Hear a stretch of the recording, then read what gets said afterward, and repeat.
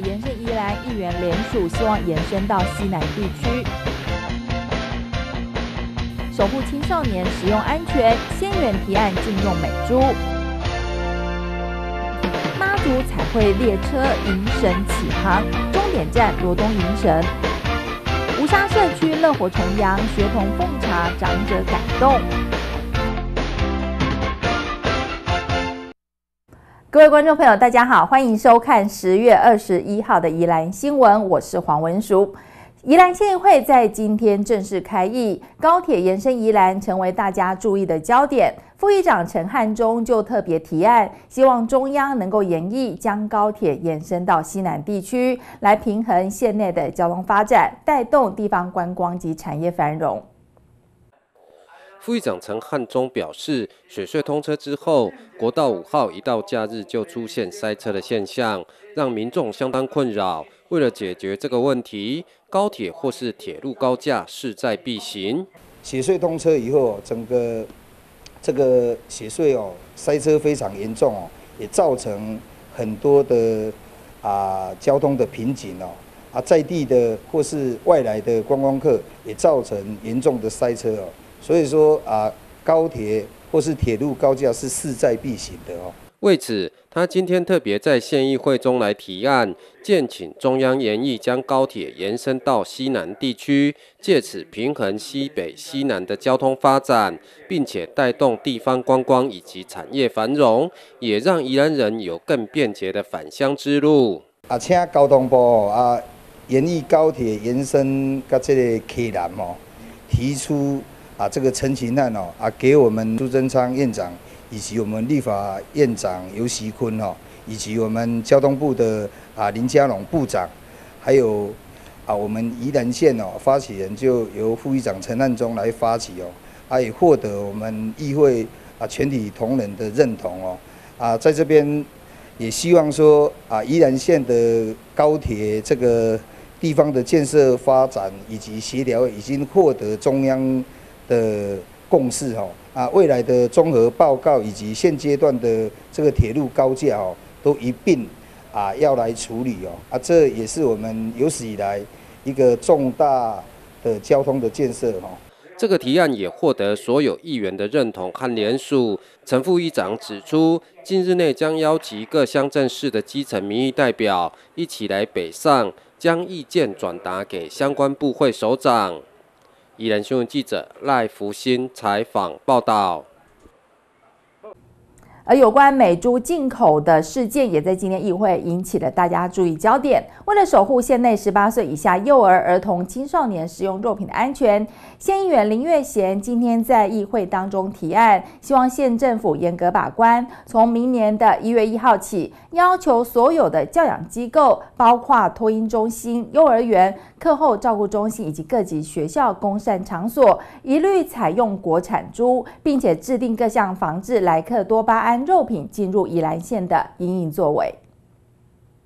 先元林月贤指出，已故知名毒品专家林杰良医师曾经表示，吃太多的瘦肉精会对肝肾造成影响，尤其是孕妇、十八岁以下的青少年以及慢性病的民众，最好不要食用含有莱克多巴胺的肉品。因此，今天特别在县议会中来提案，建请县政府严格把关。中央政府已经决定了一百一十年一月一号开始，让那个含有莱克多巴胺的这个美猪进入台湾。但是呢，中央一直一一致要通过的话，我们地方政府哦真的是没办法控制。但是呢，我为什么这么多的议员支持呢？为什么全体的议员不分党派全部联署？就是说，十八岁以下的学童在他们未成年，他们在任何一个地方，包括幼儿园。托育中心，还是所有的那个私下的这个照照顾中心，还是安亲班的，所有有公上的地方，或者提供午餐好也好，晚餐也好的地方，我们一律限制，要求县政府严格的限制，一律使用国产猪。我想这才是我们最重要的诉求。瘦肉精确实是危害到咱的健康啦，啊，咱嘛希望讲用这个提案的吼，互咱县政府搁较重视以外。嘛，希望讲咱民众嘛爱重视，哦，业业者嘛爱重视，因为业者伊也去买，不管咱食肉鸡面也好，食啥也好，拢有可能去掺到即个瘦肉精。咱希望讲，互咱全民拢重视，咱宜兰县无希望有瘦肉精哦来入来咱宜兰县啦。啊，即个部分主要的目的就是为了提醒咱遮个县民，甲提醒着讲，咱这县政府呢吼，一定爱对即个瘦肉精呢的部分爱足重视。林议员强调。中央已决定从明年起开放含瘦肉精的美猪进口。为了守护县内十八岁以下县民的健康，建请县政府从明年起要求所有公善的教养机构一律采用国产猪肉，并制定各种防治莱克多巴胺肉品进入宜兰的因应作为，捍卫本县学子的食用安全。宜兰新闻记者赖福新采访报道。十年一次的人口及住宅普查即将展开，宜兰市公所特别成立了普查所，并且将于十一月八号到三十号启动实地访查工作。市公所表示，普查员进行访查时都会佩戴识别证，并且普查所取得的资料将作为政府施政参考，不会要求受访户提供账户或存折等等相关资料，请大家要多加注意。你好，我是调查员。为了让民众了解普查的重点以及应注意事项，宜兰市公所特别邀请东东枪社区剧团，以轻松趣味的短剧来呈现。如果乱回答啊，啊数据统计错误啊，啊到时候政策规划有偏离的现况，啊会造成更多的资源浪费哦。这严重哦。嗯，对嘛，能普查真重要。好啦后啦，我的配合普查，诚实做到都需要嘛。市长江中渊指出，实地访查工作将在十一月八日起到三十日为止。普查员进行访查时，一定会佩戴识别证，相关资料将作为政府施政的参考，因此不会要求受访户提供账户或者是存折等相关资料，敬请市民朋友来配合。普查员会携带我们的普查员证以及。自受访护函，那不会询问我们普查表以外的资料，也不会要您提供账户或存折，当然更不会把你的个人资料外泄出去。我相信这个普查的规范以及它的宣导都深植民心，希望我们乡亲能够全力的配合。我知道普查是一个非常繁重的工作，所以说我们在这边也代表县议会黄定和议员。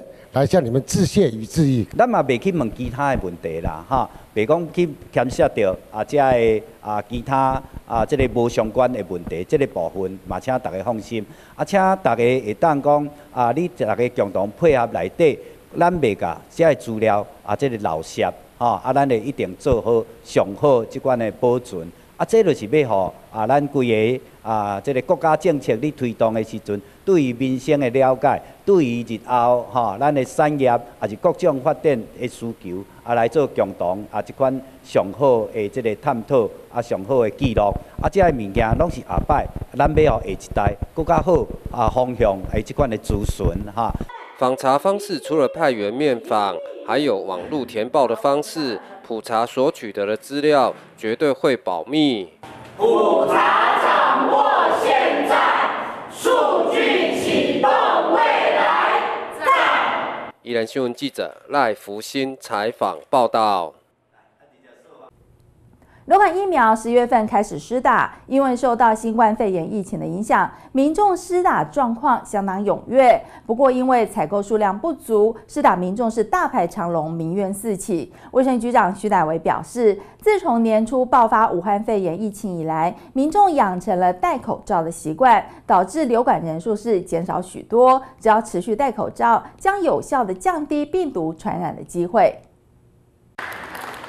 为了防范武汉肺炎，大家开始戴上口罩，让口罩曾卖到一罩难求。不过，所幸台湾防疫稳定，没有让疾病严重传播。但也因为人人戴口罩，又注重消毒清洁，使得流行感冒的病例也变少了。我们还是要戴口罩、勤洗手。今年新冠肺炎其实给我们很明确的一个呃一个经验，就是当我们每个人都戴口罩、都洗手的时候，其实今年。前半年流感的盛行率跟肠病的盛行率都下降，而降得非常低。不止戴口罩，到了流感好发季节，除了施打疫苗且注重咳嗽礼仪卫生之外，勤洗手也是宣导重点。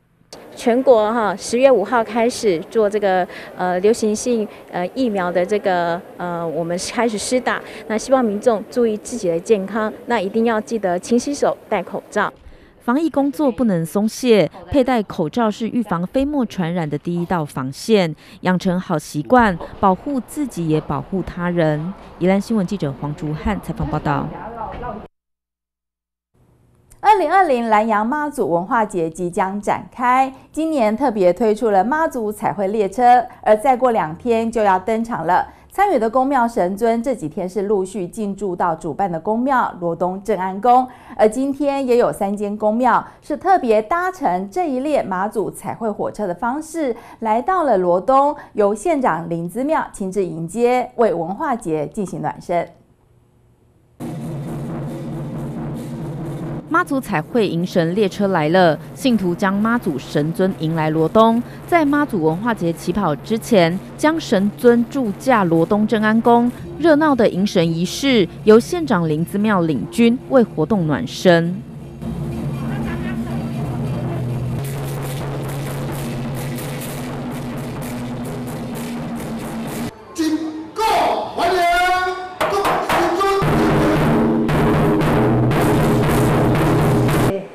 二控咱娘妈祖文化节非常隆重，而且呢，啊，伫大家尊敬妈祖的这种呃心情呢，会当来办着咱的二控二控咱娘妈祖文化节，啊，而且呢，咱宜兰县好山好水，好山好水，所以呢，今仔日呢，啊，咱的啊妈祖的指示，啊，就是咱呢，会当咱遇水则发，啊，水就是财，对不对？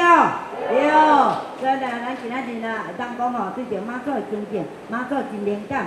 会当互咱宜兰县来平安顺遂。呃，咱今年呢，啊跟我们的台铁哈啊公司的合办，啊就是啊会当讲伫咱的石城沿路停靠吼，啊咱的驻站，啊会当讲吼沿路停靠，啊而且呢一直来驶到石城，一直驶驶到咱的南澳吼，啊所以呢啊因站拢拢总有停靠，啊所以呢要来对着咱遮所有的阿妈祖呢，啊当咱今仔日呢要来自驾伫咱的罗东的指南宫。彩绘妈祖的火车从九月二十六号起航以来，奔驰在北回线及东部干线，为南洋妈祖文化节打响知名度。而活动从十月二十三号上午七点从罗东镇安宫起驾，九点抵达圣安宫进行钻轿脚，并发放平安符。接着在东山定安宫、南方澳南天宫与静安宫都有钻轿脚仪式。而二十四号的行程则在头城和礁溪，二十五号路线在宜兰市与五节，晚间。回到罗东文化工厂举行妈祖之夜。这绕境哈，啊，咱伫农历九月初七、九月初八、九月初九，到了十月二三、十月二四、十月二五这三天的妈祖绕境。啊，所以呢，啊，咱甲咱的台铁公司呢共同的合办，啊，所以呢会当对着咱这个妈祖文化节，啊，怎么样呢？爱食三江的菜，搁行三江的绕境，要来祈求啊，咱的妈祖会当互咱的宜兰县会当来平安顺遂，殊荣工商来发展。安尼呢，对着妈祖的尊敬，啊，咱感谢妈祖，一定会继续甲咱保庇吼。相信呢，啊，你甲我的心情拢共款，会当来心困心意。啊，相信呢，妈祖真灵感，伊拢会听到吼。马委员来甲咱的济南宫来甲参拜，啊，祈求妈祖在新春保庇咱大家平安顺遂，啊嘛希望这三天的啊文化节，在新信众大家拢平安，四季无灾。今天的妈祖列车也邀请幼儿园小朋友一同来搭乘，东岳庙神将也来迎接，搭乘大众运输也能来宜兰亚妈祖。宜兰新闻记者黄竹汉采访报道。罗东镇农会配合南洋妈祖文化节，也推出了贾平安、道波比的罗董豆奶饼。今天也在罗东镇安宫祭拜妈祖，而且会将这些加持过的豆奶饼，在十月二十三号礼拜五起价，以及十月二十五号妈祖绕境活动当中，分送给信徒来享用，祈求大家都平安。南洋妈祖文化节即将在十月二十三号起驾开跑，罗东镇农会要让大家假平安到波比。除了平时制造豆类饮品外，更开发出罗董豆奶饼，口味有原味、玄米和芝麻三种。今天也在罗东镇安宫祭拜妈祖。这什么口味？这芝麻，嗯，用肉椒，嗯，口感怎么样？我有放过，对哦，赶快赶快，比那个好吃。很酥，哎，好好吃哦。豆奶饼强调营养、天然、养生，在十月二十三号星期五起价，以及十月二十五号星期日回銮妈祖的绕境活动中，会将妈祖加持过的豆奶饼分送给绕境信徒享用，祈求妈祖庇佑宜兰风调雨顺，大家都平安。啊，咱罗东镇农会到这个豆奶制作将近要六十年吼，啊，因为豆奶的这个品质吼。啊，的安全甲营养，甲过去的豆奶的产量吼，啊，过去可能较少吼，即摆愈来愈济吼，啊，所以产生这个豆奶啊，有真济这个豆粕吼，啊，这个营养嘛非常啊，非常的悬吼，啊，它的营养价值非常的高，啊，当然啊，在我接任的啊责任当中，我发现着讲啊，这个豆豆粕。过去拢甲提做饲猪啦，甚至甲提做肥料。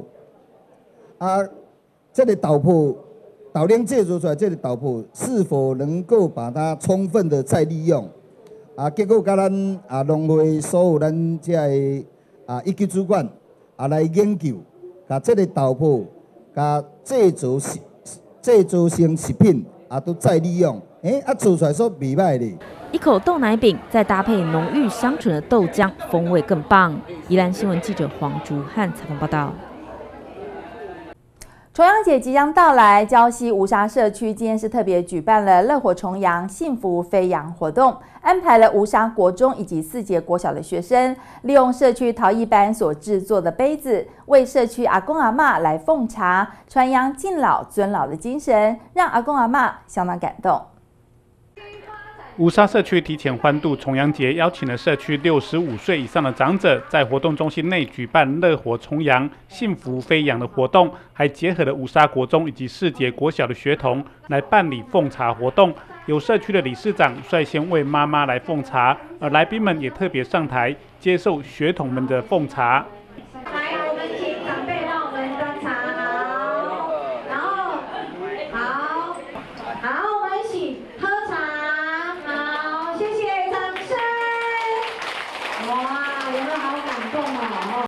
一个学生知道，我们啊长辈哈，啊为了整个家庭哈，那整个社会的一个付出哈，那利用重阳节这个啊这么重要的一个节日哈，来举办啊奉茶的一个活动，最主要还是啊要给我们的所有的在座的每一位长辈哈，能够度过一个非常啊。温馨而且愉快的一个重阳节哈，博正校长还有我们所有的学员哦，共同制作的啊一个非常精致的一个杯子哈，这个杯子奉茶完哈，呃除除了可以当纪念品之外哈，那我们也可以感受到啊五沙社区陶艺班哈，他们在呃这么多年来哈历届的一个。一个成果的一个表现哈。今仔这个小礼物，赶快，伊是一个元宝。为什么我要设计这个元宝？为什么我要用这个蛋糕？因为这个元宝呢，它代表的是吉祥。九九重阳节，我希望呢，咱各位的时代呢，拢会当食百二，身体健康，逐工拢会当甲幸福、甲快乐、甲健康呢，早伫个身躯边，然后呢，出来活动，人来少，咱就行；社区有活动，咱就来。安尼是毋是一件真好的代志？会当啊，互咱的逝世啊，对于咱长辈啊，即款的关怀、尊重。啊，利用丁阳哈啊前来做这个上好的这个表示啊，非常的有意义哈。所以啊啊，这个尊师重道啊，对于长辈的这个敬重啊，这是咱社会上需要的一个关怀力量。奉茶仪式所使用的杯子是社区的陶艺班在壮伟国小徐伯正校长带领陶艺班学员所共同制作完成。参与的学童每人手拿着一杯热茶，蹲下身子，向社区的阿公阿妈奉上充满暖暖心意以及满满祝福的热茶，场面温馨，也让社区的阿公阿妈是感动不已。来，开始喝茶，把它立马哈，把它立马哈，就是唔免带红包的嘛哈。对啊，阿嬷遮尔温柔吼，谢谢谢。谢，不要讲，感觉真感动啊，真感动哦。哎，叫红玫瑰无？要唔捌咧。感谢哦，真正每啊，拄啊阿嬷讲讲，强要来无使去正经的。啊，这老茶咧，感骨甜啦，我非常感谢，非常感谢这杯哦，我七十七十外年来哦，我泡茶我泡差不多三四十年哦，昨仔是头一届。五沙社区期望借由奉茶活动，传扬尊老敬老的精神，也感谢长辈们付出及辛劳，也让学童来勇于表达对长辈的尊重与感谢。宜兰新闻记者石世民采访报道。华山基金会在全台积极的投入老人的照顾服务行列。今天是特别邀请长辈们前往已经有百年历史的宜兰市镇地饼铺，举办仁瑞糕饼小学堂，亲手做出古早味的传统点心，也让这些老人家重温童年的好滋味。仁瑞奶奶在老板的指导协助之下，亲手制作糕饼。华山基金会透过尽孝爱老的道宅陪伴，让仁瑞奶奶感受到社会温暖。这次特别结合了宜兰百年老店镇地饼铺，邀请了三位国宝级的仁瑞来到糕饼铺，轮流 DIY 制作享誉百年的在地好滋味利亚沟，玩的是不亦乐乎，让仁瑞重温了旧日时光。嗯，对啊，对啊，对啊，对啊。这是这路，哎。哦，安尼赞啊，系啊，真认真咧听课哦。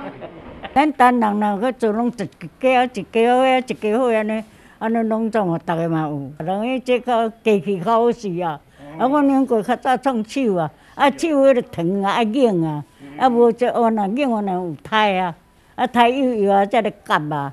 啊，阮迄个瓜粉困到涂骹吼，啊纸再炒出青除掉，啊瓜迄落。锅底啊，地条啊，拍扁扁啊，啊下灰啊，灰哦软安尼，啊，则着安尼再定迄落，就通啊硬，通啊软安尼。真欢喜无？有啊，来恁遮学这。哎，真欢喜吼。有啊。我是觉得老人家他学这个东西，他就是勾起他小时候的回忆，让他觉得呃年轻化，让他受到那个以前的回忆。糕饼是早期农民体力劳动者的日常食物，也是年节祭祀不可或缺的贡品。镇地饼铺第四代老板亲切细心的解说传统糕饼的由来，让这样的鲜明精神以及米食传统需要一代一代的传承下去。也期望透过仁瑞小学堂这样代代相传的爱，唤起社会大众重视老人议题，以实际的行动加入爱老人行列。国之大宝，我们就是要孝敬，所以我们今天特别邀请了华山基金会服务的百岁人瑞呢，到我们的阵地饼铺来体验 DIY 的活动。那为什么会到这个边的地方来呢？因为这个饼铺也是超过百年的历史，跟我们的百岁人瑞有一样的历史哈。那因为现在高龄化的的社会，所以我们希望借由这场活动呢，呢可以可以唤醒社会大众呃爱老人的这个重视独居老人的这个议题。依兰新闻记者石世民采访报道。接下来邀请大家来看好戏，这是由慈心华德福学校推出的宜兰传说故事《龟将军与格马兰公主》台语音乐歌舞剧。十月二十四、二十五号两天的下午三点，将分别在中山国小以及古亭国小举办公演。现场是自由进场，邀请宜兰乡亲一起来欣赏这出专属于宜兰县的民间传奇爱情故事。现在透过镜头先睹为快。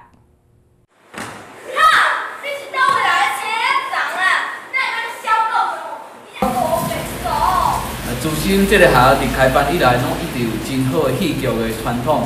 我希望讲，透过即个台语的俗语，透过即个台语这个用趣味这个客家话，啊，啊，甲即个歌曲，啊，即个力量，啊，做伙来啊，制作一出啊，甲爱留伫这片土地，啊，讲即个吴将军甲甘兰公主的即个故事吼。啊，除了伫学校演出两摆以外，阮嘛会伫咱宜兰的古田国小、甲中山国小的即个场所来演出即出戏。另外，阮也伫外关区也有做两摆的即个表演。啊，因为安尼，互咱啊真侪人拢会当透过即个台语音乐剧来去欣赏着咱传统真水、真美丽即台语的文化。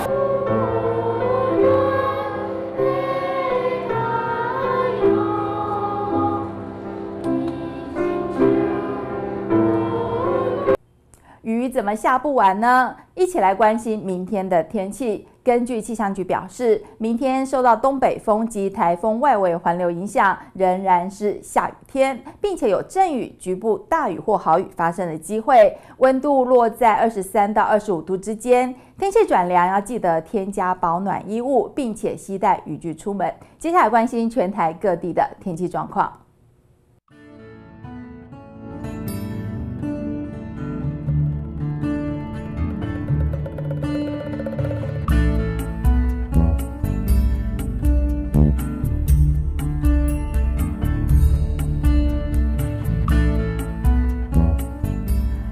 明天宜兰地区是阴阵雨的天气，降雨几率百分之九十，气温是二十三到二十五度。接下来关心渔业气象。